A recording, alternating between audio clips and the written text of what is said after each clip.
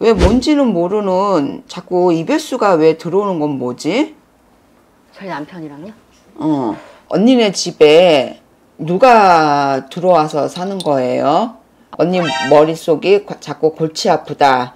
어? 근데 왜 자꾸 이혼을 누가 하려고 자꾸 마음을 먹고 있냐고. 내가 엄마가 선을 넘지 말아야 될 선을 지금 넘고 있다고 그러는데 어? 사이한테는 끔찍하게 잘해주고 있나 봐. 좀 갈수록 이게 좀 약간 다른 방향으로 가는 느낌이 들어서 저도 그게 좀 받아 맞는 것 같은데 받아들이기가 힘들어서 엄마가 어? 내 신랑한테 자꾸 넘지 말아야 될 선을 지금 넘고 있잖아. 엄마 내보내세요. 언니가 그냥 엄마 내보내면 모든 게 해결이 끝나요. 어?